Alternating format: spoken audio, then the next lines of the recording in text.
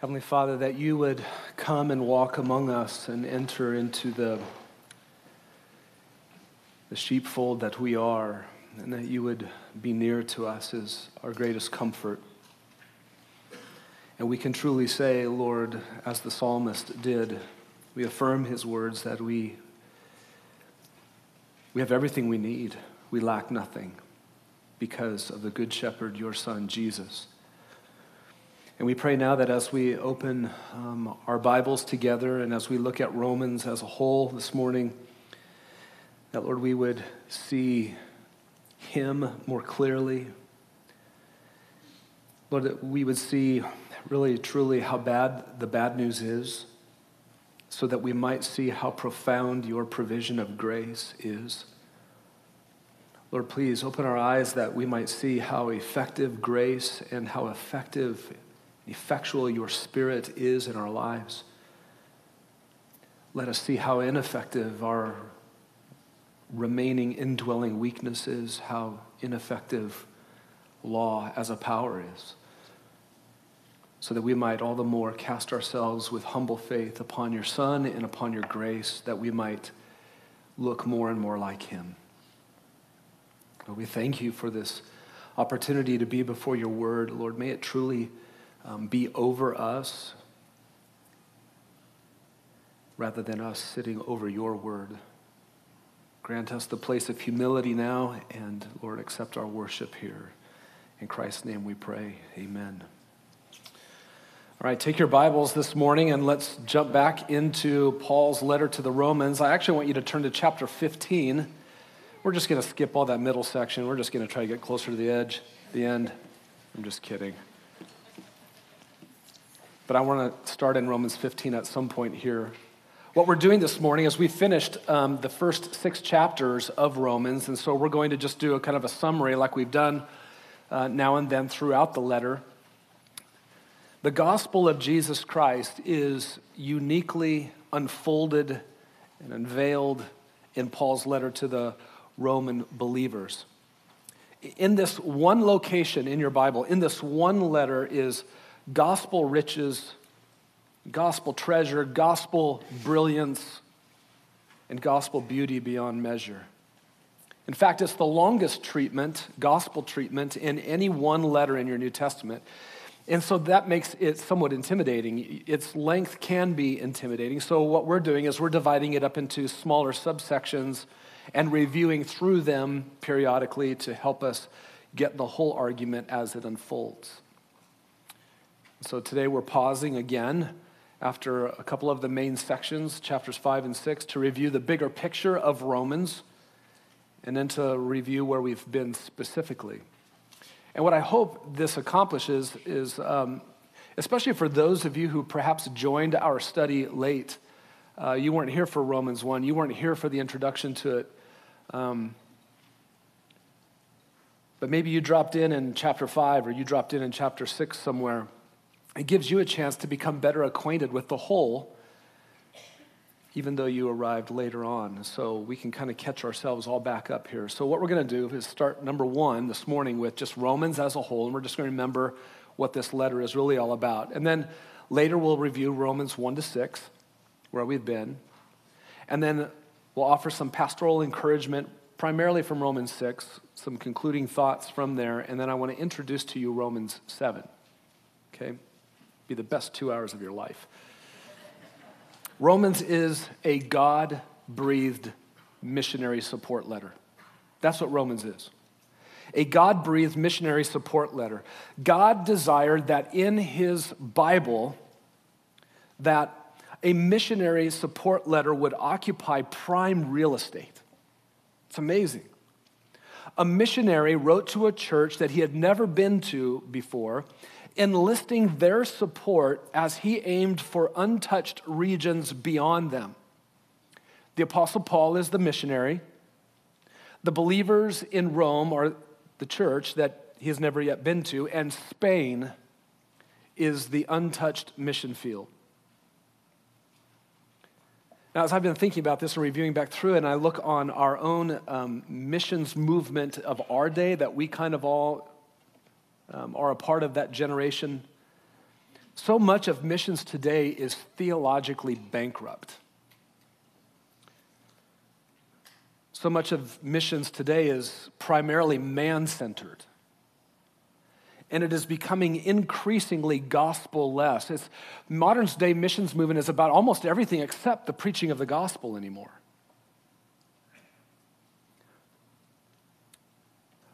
But that's not what this letter is about at all. It is theologically rich and deep, not bankrupt. It's not man centered, it's God centered. It's Jesus exalting, it's spirit loving.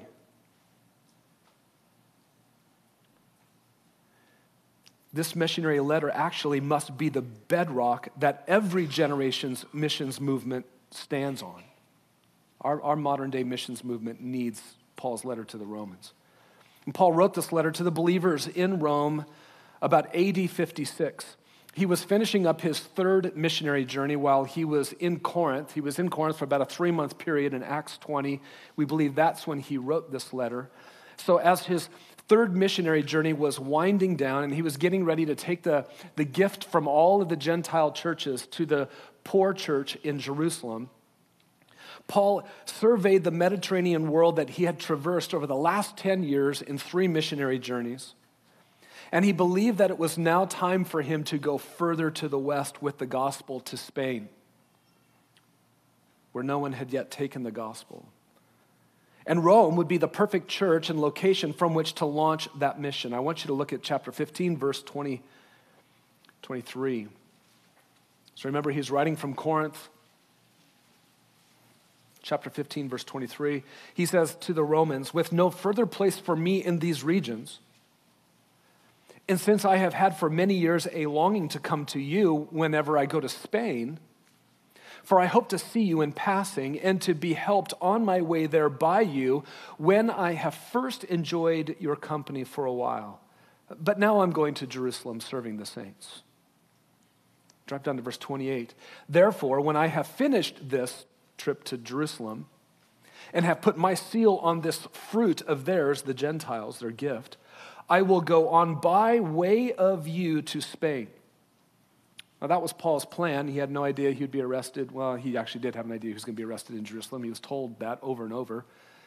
And then he was in prison for two years in Caesarea, and then he was on a shipwreck, and then eventually did make his way to the Romans by the end of Acts. But Paul, in the meantime, while he's in Corinth, he hasn't seen the Romans yet, he can do something very profitable. There was something Paul could do before he was physically with them. He could write out his gospel that God gave to him. And he did. And he did it to make sure that his relationship with the church and Rome was founded on that gospel. That meant he had to write it out for them to help them understand the height of it, the breadth of it, the width of it, the depth of that gospel. So he wrote it out. He, he could, uh, how, how could he begin to partner with them on the way to Spain if they didn't hold to the same gospel he did, if they were not established on it and in it? We know that at this point in AD 56 that no apostle planted this church in Rome. Paul had never been there himself personally. He knows many of the believers there, Romans 16. He's able to name many of them by name. But it was nevertheless a church without the direct influence of an apostle. So before Paul partners with them in taking the gospel to Spain, he first wants to make sure the church in Rome is well established in the gospel that he preaches. In fact, let me show you the bookends on the letter that it's all about being established in the gospel. Look at Romans chapter 1, verses 11 to 15. And then we'll come back to chapter 16, verse 25. This is kind of the, the bookends on your letter. Chapter 1, verse 11, Paul says to them, I long to see you so that I may impart some spiritual gift to you that you may be established. This is why I want to see you. I want you to be established. That is, that I may be encouraged together with you while among you, each of us by the other's faith, both your faith and my faith. Whenever the, a believer believed, it meant something to Paul, it mattered to him. I, I do not want you to be unaware, brethren, that often I have planned to come to you and have been prevented so far, so that I may obtain some fruit among you also, even as among the rest of the Gentiles. I am under obligation both to Greeks and to barbarians, both to the wise and to the foolish. So for my part, I am eager to preach the gospel to you also who are in Rome. They are already believers. But when you preach the gospel to believers, they become established in the gospel. And then the letter ends in chapter 16, verse 25. He says, Now to him who is able to establish you according to my gospel and the preaching of Jesus Christ, according to the revelation of the mystery which has been kept secret from long ages past. So, Paul's intent with this letter is they must be established in his gospel. And everything from between chapter 1 and chapter 16 is about that amazing gospel of Jesus Christ that not only saves sinners who believe, but a gospel that is powerful enough to transform their lives and their living into the image of Jesus Christ. Everything between is the multifaceted gospel. In fact, we could probably summarize Paul's letter this way. I'll put it for you up on the screen here. The gospel will establish us. This is the purpose of him writing. The gospel will establish us. And then, because it's a missionary support letter, it will endear us to the expansion of the gospel will be established by it. And then, because by its very nature and character, it is a missionary support letter, it will compel us to take the gospel to places it has not yet gone. This is the kind of letter God wanted to occupy prime real estate in his Bible. One letter does all of that. And the question for you at the beginning is first of all, do you, do you know this gospel? It's the good news concerning Jesus Christ and his death at the cross for sinners, for the salvation of sinners. And the call in the gospel is to turn away from yourself, to turn away from your sin, and to turn away from good works that you might try to do from a set of laws, but instead to just put humble faith in Jesus Christ so as to be saved. Saved from the wrath of God that you and I both deserve. The gospel and faith in the gospel is a declared, brings about a, a, a, declared righteousness from God. The very status of righteousness that is His. It is given through faith alone, in Jesus alone, apart from any good works. Do you know this gospel? But there's more you must be established on it, established in it. Do you cling to the sufficiency of this gospel to save you from the wrath of God? Do you, do you experience its power in your life daily? Do you believe that it is solid enough to support you through anything that you'll ever face in this life? Romans is the letter for you and for me. And the effect that it must have on you as a missionary support letter in your Bible is this as you become more established in it. Why are there still people who do not know it? We must take it to further regions beyond us, to people down the street, to people at school. How can I take it to them? How can I help others to go to places that I'll never go? Well, let's now transition to the specific sections of this letter. That's Romans as a whole. Now, let's talk about where we've been Romans 1 to 6. Uh, and I just encourage you to start in chapter 1. If you've got a, an old fashioned Bible with paper and stuff like that, you can kind of just go back to where we were at in the early parts. Let's talk about the first section. Romans 1 1 to 15 is about the apostle of gospel righteousness. Um, you're going to see gospel righteousness or a phrase like that in almost every single one of these little subtitles because the gospel has a righteousness that is inseparably, uniquely tied to itself and to the preaching of it, to the believing of the gospel. And the first 15 verses of chapter 1 introduce us to the Apostle Paul. This is his longest introduction in any of his letters because he's introducing himself to a church that he does not know. So a longer introduction is needed. And he is the apostle of this gospel righteousness. Upon fully introducing himself, Paul lays out the, gra- uh, the grand subject of his gospel interest in the letter. That takes us to Romans 1, verses 16 and 17, unique enough to stand all on its own in the entire letter. Uh, the revelation of gospel righteousness. Look at verse 16. For I am not ashamed of the gospel, Paul says, because it is the power of God for salvation to everyone who believes, to the Jew first and also to the Greek. For in it, in the gospel, the righteousness of God is revealed from one person's faith to the next person's faith. That's the idea there of from faith to faith. As it is written, but the righteous by faith shall live. Paul does something very interesting upon mentioning the gospel. He makes a beeline for the righteousness of God in it. The gospel reveals the righteousness of God in some way in connection with faith. If you're going to look for God's righteousness, there's a place to look. Look for where saving faith is. That's the place to be looking for. You don't look where good works are. Not going to find God's righteousness there. You don't look for where faith and good works are trying to work together. Like you can believe Jesus, but you need to do some good things first also. You don't look there for God's righteousness. You look uniquely to one place only where faith alone is. That is where God's very righteousness is being revealed. The righteous status that God Himself has, He gives through the faith of the one believing Jesus. It is the righteousness that God declares over the sinner who believes. This is the great theme, this is the great heart, this is the great foundation of the letter. This righteous status that God gives to the sinner through faith and not by works of law gets fleshed out in great detail in chapters 3 and 4. We'll be there in just a moment. The phrase justification by faith alone is the idea of being declared righteous with God's very status of righteousness by faith alone, through faith alone.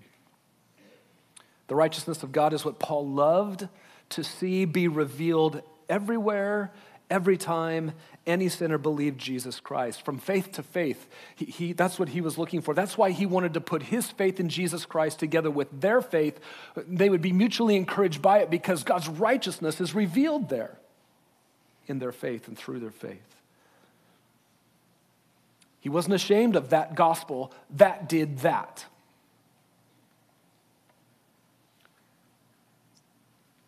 And this again is why we have gospel righteousness kind of in each of the subtitles wherever possible. And that takes us to the next section, which is heartbreaking. Romans 1 18 to 32, we called it the Gentiles of unrighteousness. So there is the righteousness of God associated with the preaching of the gospel and faith, and then there is just mankind out there. There is the unrighteousness of mankind everywhere. Look at verse 16 again. I'm not ashamed of the gospel. Dot, dot, dot. For in it the righteousness of God is revealed from faith to faith. Dot, dot, dot. Verse 18.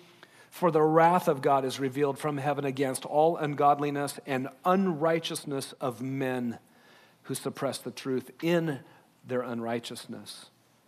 Mankind across every nation is propagating his own unrighteousness everywhere. The only response God can have to that unrighteousness is his wrath. And his wrath is presently being revealed against all of that ungodliness and unrighteousness. The nations of mankind, they stand in solidarity, in a oneness in this unrighteousness. This indictment is not restricted to any one people group. This is a one sized fits all indictment that covers all of mankind. So, among an unrighteous humanity where God's wrath is currently being revealed, the special way that God is revealing his own righteousness is when they believe, when one of those unrighteous ones believes. It's amazing. And that's what drove Paul. For Paul on his missionary journeys, it was more about God's righteousness being put on display than it was really about anything else. And by the way, sinners get saved when that happens. It's pretty amazing. That leads us to the next section Romans chapter 2 to chapter 3, verse 20. The Jews of unrighteousness. The, the primary argument that Paul is making in this next major section of Romans is that sinners, in response to hearing that one size fits all indictment over everybody, sinners tend to want to exempt themselves from that indictment of unrighteousness. And have you ever noticed this? Right? There's something that wells up within each one of us when guilt is ascribed to us, there's something that wells up inside us where we believe, no, no, no, I, am the exception to this indictment. I am. I should not be included in that indictment. We protest a one size fits all indictment.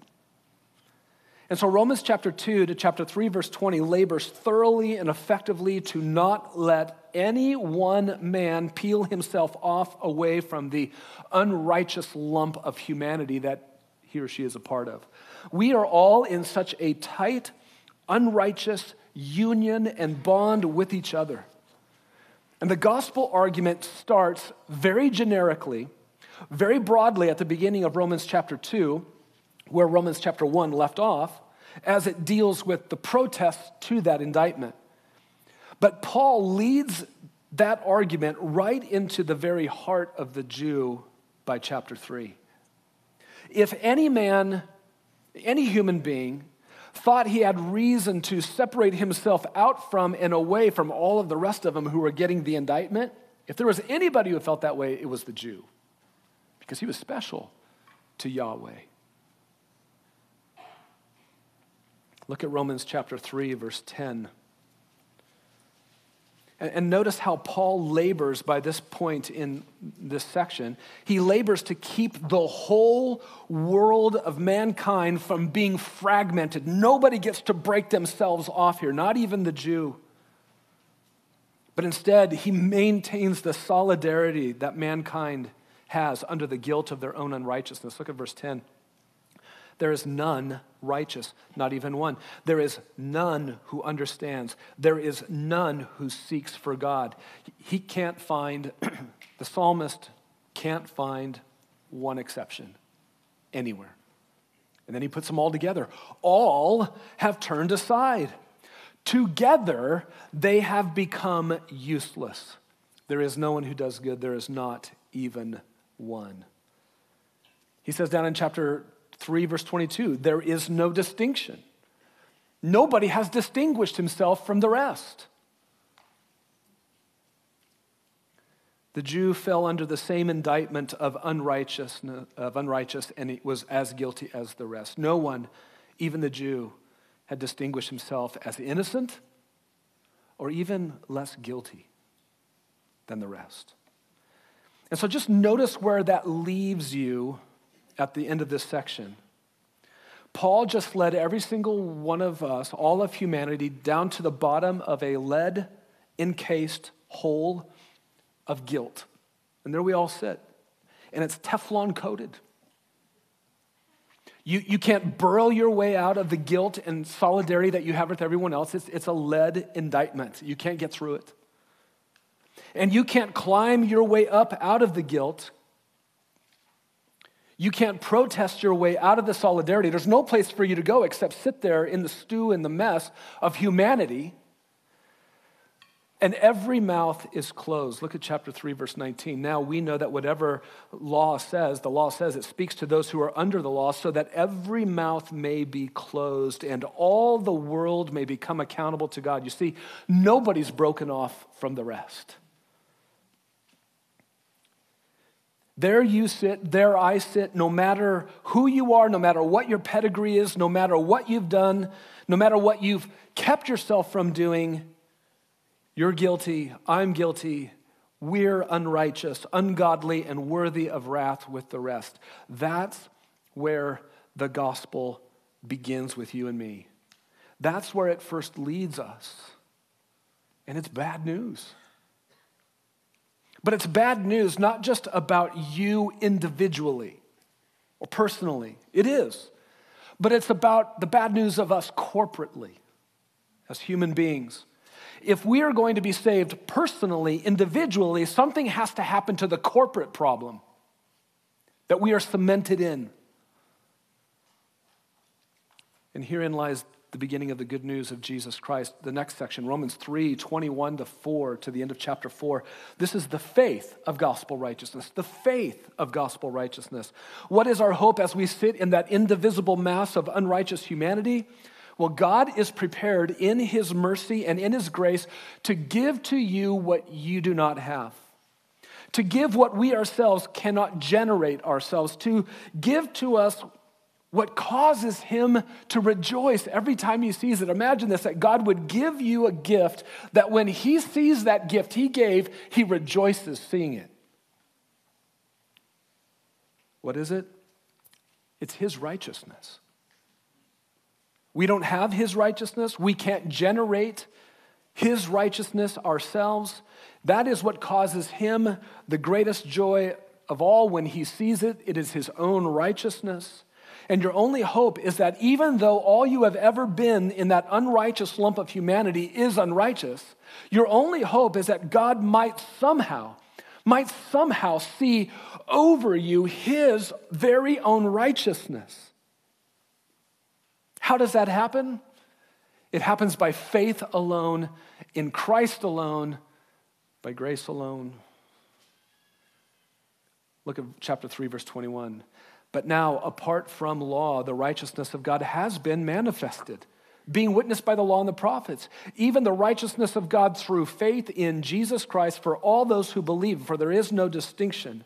For all have sinned and fall short of the glory of God, being justified as a gift by his grace through the redemption which is in Christ Jesus, whom God displayed publicly as a propitiation in his blood through faith this was to demonstrate his righteousness, because in the forbearance of God, he passed over the sins previously committed for the demonstration, I say, of his righteousness at the present time, so that he would be just and the justifier of the one who has faith in Jesus Christ. It's all about faith and faith alone. And we tend to think similarly as the Jews did in Paul's day that God will be different toward me. God will be different toward me. He'll see what I've been up to. He'll, he'll see my pedigree. He, he'll see where I come from. A Jew would say that. He'll see I come from Abraham. And he'll see how I have distinguished myself from others. And that leads Paul into Romans chapter 4. It is the fruit of Paul's preaching of justification by faith alone over 10 years and three missionary journeys. It shows us exactly how Paul dealt with the unique Jewish oriented challenges that he faced as he preached the gospel from one synagogue to the next across the Roman Empire. Some of the most severe protests that he faced uh, um, in his preaching of Jesus Christ came from these Jews. When the Jews protested the gospel's very central th- thrust of justification by faith alone in Jesus alone, Paul answered those very protests with the Old Testament and specifically with the faith of Abraham. And this is what is really great for you and I who have the, the rest of the New Testament. It's one of the enduring fruits of Romans chapter 4 that we who believe Jesus by faith alone, we can actually turn to our Old Testament to prove salvation by grace alone, through faith alone. The example of Abraham is the example. And that leads us next to Romans chapter 5. Romans chapter 5. We could title this section, The Grace of Gospel Righteousness. The Grace of Gospel Righteousness. Look how chapter 5 begins, verse 1. Therefore, having been justified by faith, dot, dot, dot, that signals that it's time to consider now the blessed outcomes that accompany justification by faith alone. And the very first thing on Paul's mind is worship. Verse 2, at the end, we exult in the hope of the glory of God. Verse 3, we also exult in our tribulations. Verse 11, through whom, um, I'm sorry, uh, but we also exult in God through our Lord Jesus Christ. That word exult is a worshipful expression of overwhelming joy and satisfaction. It is not a boring worship word, it is a rich and vibrant and challenging kind of worship for each one of us to consider. Justified believers are to be first and foremost one thing fervent worshipers of Jesus Christ, joyful worshipers of God through Jesus Christ. Before any more details or any more of the implications that follow from justification by faith alone, before anything else can even come, what Paul wants to make sure of is that we are all the right kind of people to receive it. And that means we must be worshipers to receive what's coming next. And the whole rest of the letter, we must be those who exult in God. If you want to understand sanctification, if you want to understand um, God's unique relationship with Israel in 9, 10, and 11, if you want to understand how you should live together as a family in 12, 13, and 14, if you want all of that, you need to be one who exults in Jesus Christ. These are all the implications and the outcomes from justification by faith alone. And then comes that great section in verses 12 to 21 in chapter 5. And it provides another way of looking at the foundation of grace underneath the one who is the worshiper of Jesus Christ, the believer. And we actually find out in Romans 5, verses 12 to 21, more about our solidarity with fallen, sinful, enslaved humanity. We have union, we're told, or solidarity with Adam, the very first man. He set, unfortunately, the trajectory and he poured the cement of sin out. And we have all, in our own spiritual deadness, we've sinned and we've jumped into that cement slab of slavery to sin with Adam. One spiritually dead pebble am I cemented together with all of the other ones with Adam in lost humanity. We've been hardened, we've been cured together into an indivisible, solid mass of sinful, enslaved humanity in our collective spiritual deadness. Staggering. And then you get statements like this in 520 law came in so that transgression would increase. Not helpful. Law is just not helpful as a power. It only intensifies the sinful bond. So you are what you find out in Romans 5 is you are not a lonely, solitary, dead sinner. But you are a pebble in a massive slab of cement of sin and death that wraps around the world of men. And the free gift of grace through Jesus Christ is superabundant beyond anything known to man. It reigns over us like a king, Romans 5 says. In the gospel, you have to see yourself rightly as an individual sinner. There's no doubt about that. But in the gospel, you are also called to see yourself rightly as inseparable from the rest of humanity until grace comes. And grace breaks you free by justification through faith alone. And once you are broken free from that old solidarity with Adam and his spiritually dead, sinful people, listen, solidarity does not end. You were not rescued from that horrible solidarity to be solitary in your living. As a believer in Jesus Christ, you are now in solidarity with Jesus and his people. All because of this greater reign of grace through Jesus Christ. You see, you being saved, when you think about it, the first thoughts that come to your mind is, I can't believe what God has done for me. And what Romans 5 is revealing is we should be able to say, I cannot believe what God has done on a human level to, to even redeem anybody out of this broken humanity. Broken's not a strong enough word. In God's eyes, you were never alone in your spiritual death and sin. You were never only an individual. You were never only an island. You weren't that way before God's grace saved you. And if He has saved you by His great grace, you are not merely an isolated individual right now either. But you are a part of His people, His family in Jesus Christ. The question you could ask yourself is to whom do you belong? Do you belong to Adam still, or do you belong to Jesus Christ? And the difference between Adam's people and Jesus' people is only one thing what? Grace. We don't have a better set of laws than they do. We have grace. We have the reign of grace over our lives, which paves the way for Romans chapter 6, where we just finished.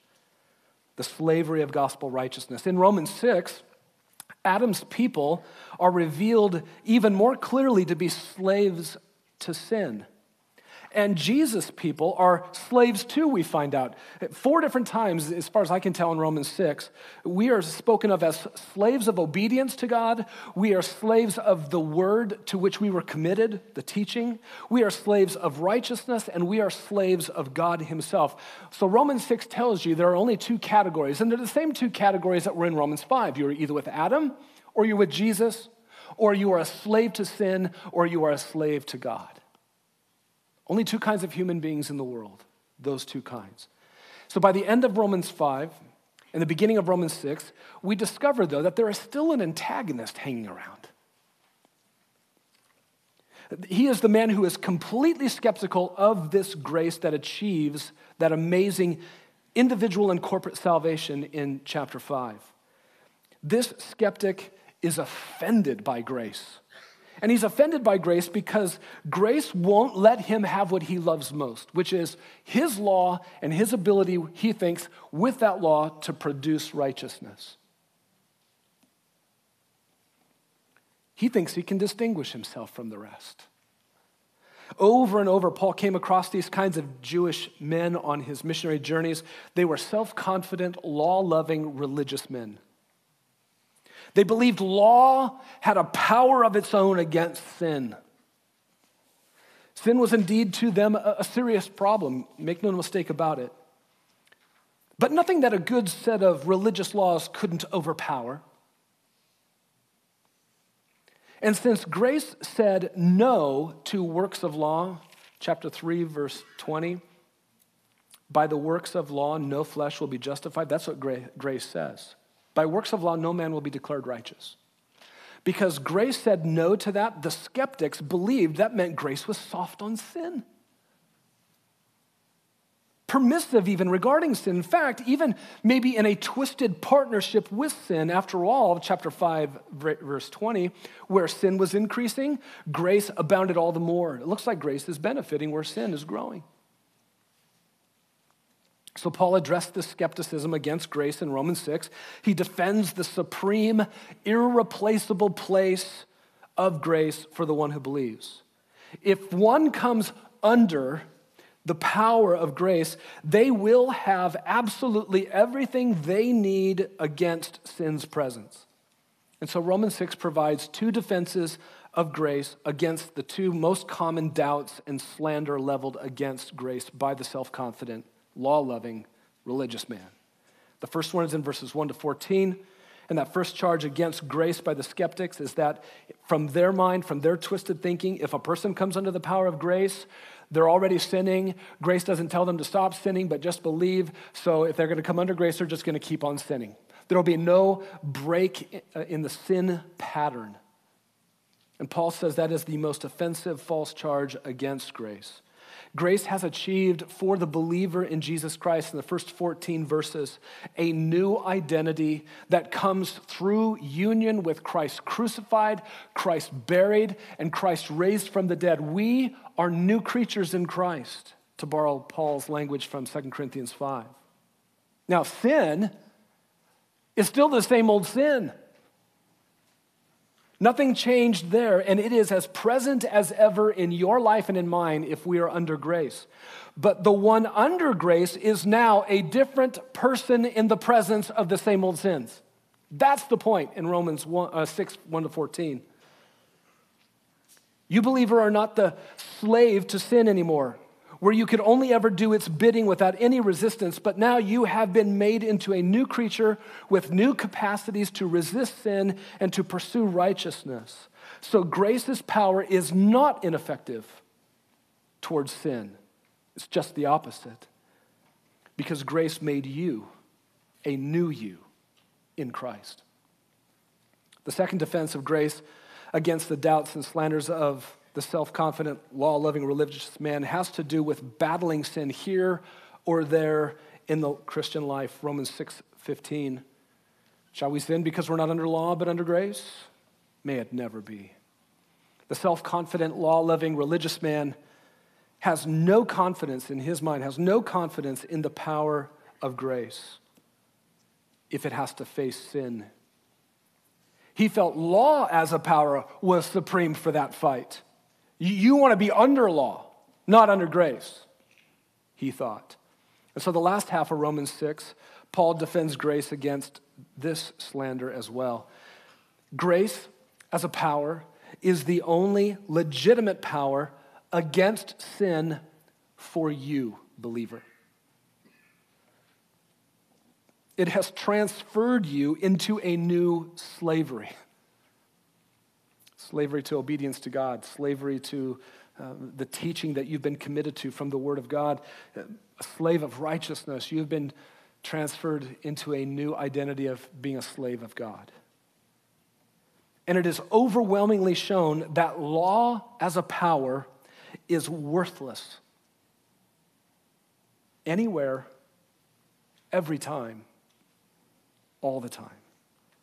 In fact, if you are still under law as a category, as a power, it is evidence that you actually are still a slave of sin that is spiritually dead in that slab of sinful humanity.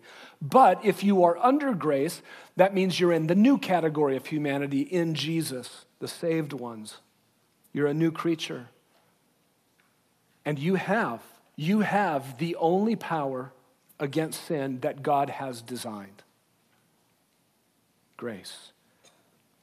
So that is where we have been thus far in our exposition of Romans. And so, what I want to do, number three this morning, is maybe just draw one more pastoral encouragement from Romans chapter 6. Number three, Romans 1 to 6, pastoral encouragement. In chapter 6, Paul writes about the certainty of the power of grace in the life of the believer with such ultimate language. Did you notice this as we kept going through it? With such ultimate language, victorious language, stunning declarations are made in Romans 6 about what grace has achieved for us, such that it sounds like there is no reality possible less than what grace has accomplished. You get things like in Romans 6, verse 16 you are a slave of obedience resulting in righteousness. That is such an ultimate declaration.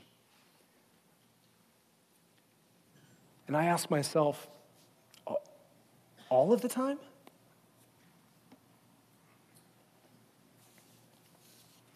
Verse 17, you became obedient from the heart. All of the time? Verse 18, you became slaves of righteousness, a slave of God. Verse 22, resulting in sanctification, resulting in holiness all, all of the time?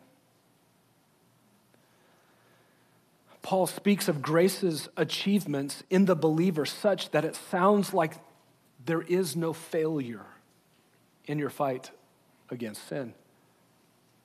And yet I know you feel what I feel. You feel the gap between where you really live and where these very real declarations concerning grace's victory are. How are we to navigate that? First thing I think is important is just to understand what Paul is doing in this chapter. He's showing the supremacy of grace. He is showing the irreplaceability of grace. He is showing the undeniable, always dependable power of grace because remember, grace is being contrasted against and above the power of law. There's another power that the antagonist is putting on the table next to the power of grace. And so Paul is pointing us to the power of grace. Paul is trying to eliminate any thought that there is a choice for you when it comes to powers. Powers to live under. So then the point is, is not, first of all, your, in, in Romans 6, it's not your perfect submission to the perfect power. It's just the perfect power of grace. Maybe put another way, the focus primarily in Romans 6 is on the perfect master over the slave, if we could give grace that language of being a king reigning over his subjects. So the focus in Romans 6 is primarily on the perfect master over the slave. The focus in Romans 6 is not primarily, first of all, on the slave's performance under the master, although that is absolutely impacted by the master. Maybe another way to think about it is Romans 6 is about the war that has been won by grace. But you and I have a lot of battles to fight. And Romans 6 is not about, first of all, how you will win every single battle. It's that the war has been won by grace. And of course, your battle is impacted by that. But Paul is trying to draw a contrast between the power of grace that won the war and the power of law that will keep you condemned if it stays as a power in your life. The conclusion you have to come to predominantly from Romans 6 is how unrivaled grace is as a power in your life as a believer. You must be convinced that there is no other rival power to consider. Listen, this is what it is not. It's, it's not like, well, you know, you can either go with AT&T or you can go with Verizon or you can go with T-Mobile. You know, there's pluses and minuses with all these different um, companies. That is not grace and law. Well, you kind of just got to pick. There's pluses and minuses either way. Paul is speaking of grace in such a way that you would take everything else off the table and see only what God has truly put there, which is his grace. He has only one power for you it's grace. And there should be no surprise then that grace is presented as ultimately victorious. Because it is. It has won the war. It is overwhelmingly sufficient for everything you need. Grace has no flaw in it. Grace has no weakness in it. Grace has no inconsistency in it. Grace will never, on any one of the days of your life, have to say, Well, I need to give you a qualification about myself that I didn't give you at the beginning. Grace will never have to do any of that in your fight against sin. So, Romans 6, your confidence must grow, it must expand, it must be strengthened, it must be deepened as a result of Romans 6, your confidence in grace and it is presented only in ultimate victorious terms. There's no other way it could be spoken of. But you're still left feeling and observing the gap between the perfect, powerful grace and your own weakness and failings under it in your fight against sin. So, what do you do? First, where your living falters under grace and sin, and where sin gets the upper hand, get to the bottom of it. You must get to the bottom of it. Open your Bible and carefully and thoroughly examine your life. Do not let sin ever be of no concern to you. Let your concern for sin only grow because of what you understand about grace and its victorious nature in your life. And it may actually be possible that for some, either your failings are so proliferate or you are so unconcerned about your sin that you should actually go all the way back over to the slab of sinful humanity and you should assess if what God says grace does when it savingly extracts a sinner, whether or not that has actually ever happened to you. So, where your living falters under grace, get to the bottom of it. Secondly, become increasingly convinced of your own built in remaining weakness. What grace has achieved is one thing, and what you carry with you still in your indwelling sin and weakness is another thing, and they are mixed together. Become increasingly skeptical of what you bring to the fight.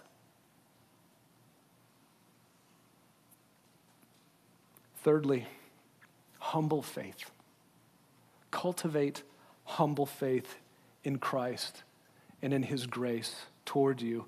Humble faith will make you look away from yourself. It'll make you look away from your own guilt. It will make you look away from um, you trying to do penance to establish a better standing.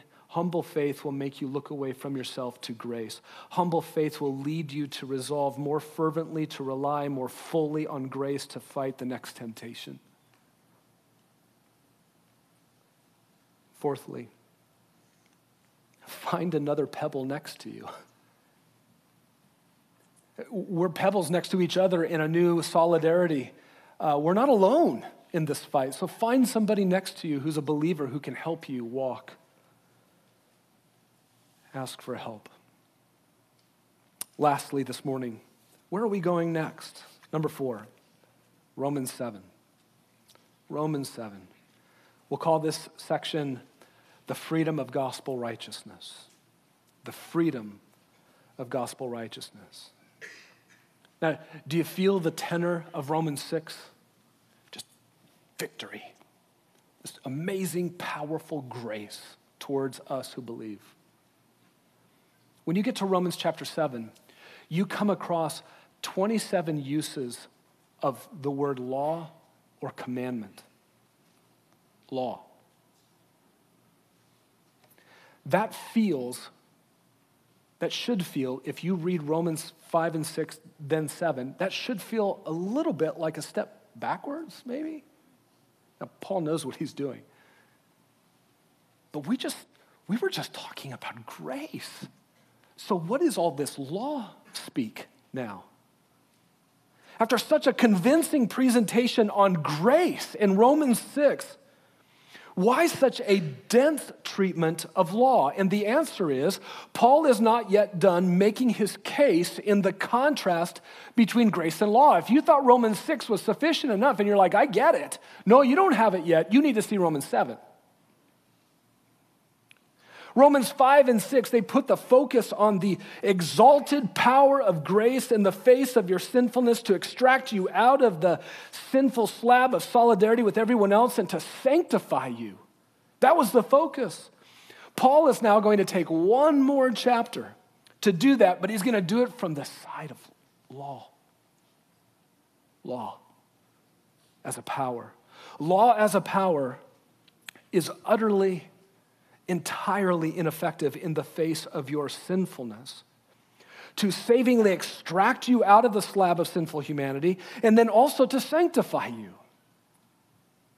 Your sinfulness and law, listen carefully, your sinfulness and law must never be in a relationship with one another because law will only wreck you spiritually. You and law, you must be freed from law. Look at Romans chapter 7, verse 1. Or do you not know, brethren? Paul's talking to believers. Do you not know, believers? And then he qualifies who he's talking to in the believers. For I am speaking to those who know law. So he's narrowing himself. Who would be the believers in a church who would know about law? I believe that's the Jews who have come to faith, just like he has. Don't you know this? That the law has jurisdiction over a person as long as he lives. Then when is he free from it? When he dies. Verse 4. He gives an illustration in verses 2 and 3 that we'll look at soon enough. Verse 4 Therefore, my brethren, you also were made to die to the law through the body of Christ, so that you might be joined to another, to him who was raised from the dead. You see, that's being put into the other solidarity with Jesus. In order for what? That finally you might bear fruit for God. If there's any hesitation in your mind as you hear this talk about, and Paul emphasizing you want law separate from you as a power. If there's any temptation to think that that means we're going to be lawless people, you don't have to worry about it because Paul over and over and over and over says you're a slave of righteousness. You become obedient from the heart. You will finally be fruitful for God when you are freed from law. And then what Paul does in verses 7 to the end of the chapter, is he provides for us a window into his own life when he and law as a power were inseparable. And Romans 7 reveals a losing fight going on. It was a devastating bondage that he was in with law, a devastating relationship. No doubt an internal conflict was going on within him. Romans 6, we could talk about in one sense, is, is the war has been won. Now go fight some battles that remain. That's victory. Romans chapter 7 is you're fighting, but you're losing. That's Paul. So, the gospel development that's taking place in these chapters as we finish up could be put this way Romans 5 and 6, all about the supremacy of grace as a power in the face of your sin, in the face of your sin to save you, to extract you out of the sinful slab of humanity, and then to sanctify you. Grace is victorious. That's Romans 5 and 6. Skip 7. Romans 8 will be there in a few years. It's all about the supremacy of the Holy Spirit as the indwelling spirit of power in your life, such that you can be sanctified, you can become increasingly holy. So you've got Romans 5 and 6, all about the supremacy of grace. You've got Romans 8 about the supremacy of the Spirit of God and the victory in your life through Him. What is Romans 7? The devastating bondage that sin and law are in together, and you must be freed from it. And you have to be convinced of this. It takes a whole chapter to do that. You do not have ability to save yourself. You do not have any power to sanctify yourself. If you add law, which has no power to save you, and law, which has no power to sanctify you, you put those two powerless things together, you are doomed, and you must be separated from it. And that sits sandwiched between the two glorious realities of God's grace and God's Spirit in the believer's life. That means in the coming weeks, believer, love the grace of God even more. Anticipate getting to know the Holy Spirit better in Romans chapter 8 for your sanctification. And in the coming weeks, put absolutely no confidence in the devastating combination between the power of law and sinful flesh. Put no confidence there. God's grace is sufficient, God's spirit of holiness is sufficient for holiness. Let's pray.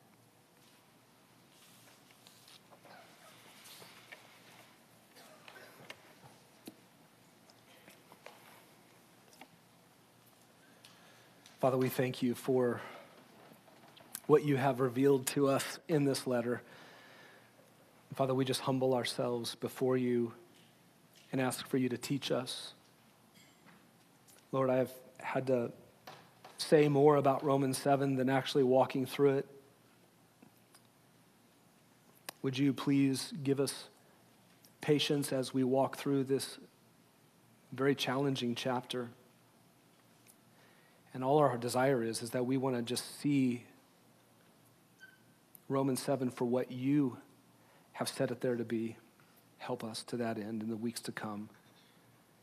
And Father, lift up our adoration of grace and your spirit, and most of all, your Son, Jesus. And it's in his great name we pray. Amen.